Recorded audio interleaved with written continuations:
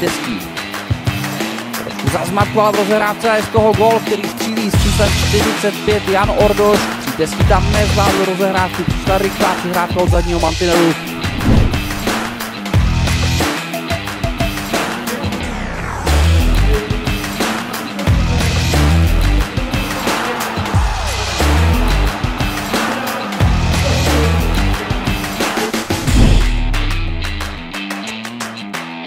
Situace 2 na 1 pro Plzeň a Plzeň má další příležitost a Kováča se dostává konečně po devíti odehraných minutách do zápasu. Kláča chytí puk, přitiskne ho k ledu a zůstane zamražený.